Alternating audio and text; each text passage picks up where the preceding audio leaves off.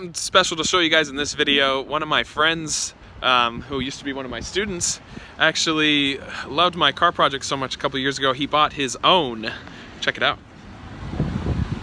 He got a CB7, 93 CB7 LX, just like mine, um, Arcadia Green. But uh, he's got some special parts on this car that you might recognize, so I want to show you. So, check out this. It's my exhaust. Check out those. My wires and my spark plugs inside. He um, has some of my parts, and uh, he's got his own short ram. Uh, he got his own P12 ECU installed. There's his old one. And so right now, we're gonna install this intake manifold, baby. That's my uh, H23 manifold. I gave it to him because um, I'm obviously going bigger no matter what I do. As you saw in the other video, got my own issues to get through. But we're gonna put this manifold on right now, and uh, and we're gonna put everything together because he's got to drive this on Tuesday. So let's get going. What we're gonna do is we're gonna spray his gasket, put that on. We're gonna put the intake manifold on after he cleans some of the oil out from the uh, the cylinders that he can, and uh, then we're gonna hook everything back up. There's a lot to hook up, as you might have guessed, and or as you might have known. And then we're gonna uh, put the coolant in there.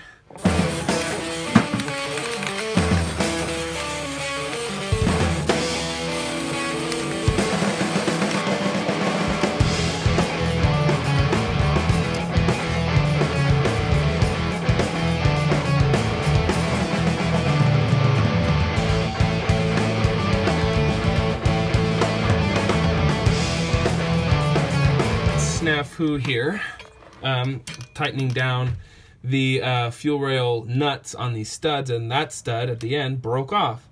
And um, there's just a tiny bit that can thread on. It's just really sketchy, so we're trying to figure out what the best thing to do is right now, because we don't have the the left-handed drill bit to drill it out, but we might be able to lock onto it some right-handed drill bits and then just uh, turn it around. So we'll see.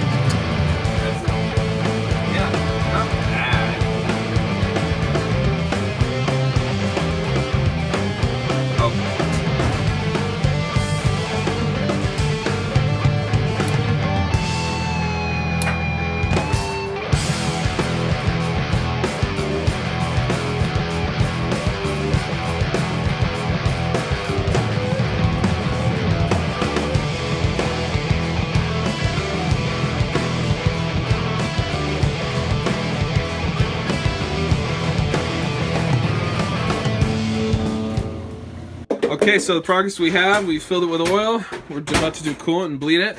We're putting the short ram on, intake manifolds on. And we just decided to tighten this finger tight and we'll check for leaks if the stud is broken. It did thread about one and a half cycles of thread. So it did thread on, but it just, you can't tighten it anymore. It starts to come out.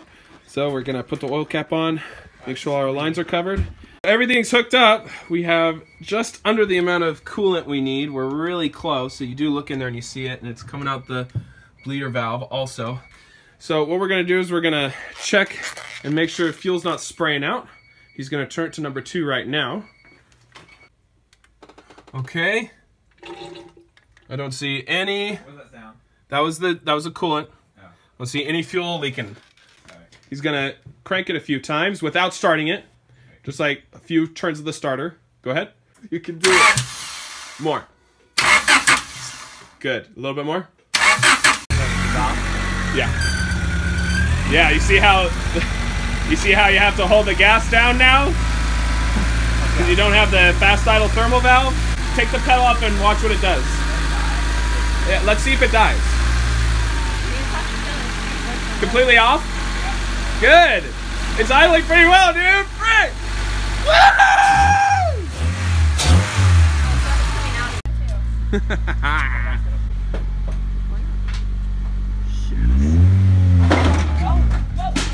Whoa. That's what you get when you put Rhino ramps on nice, slick rock surface.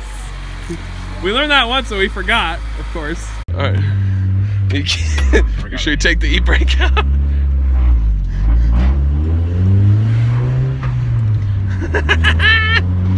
Oh my gosh, that's driven so long.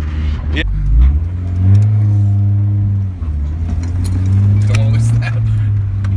Oh yeah, it's my registration. I just got it. oh my god, this is ridiculous. Yeah, it means it's not getting the right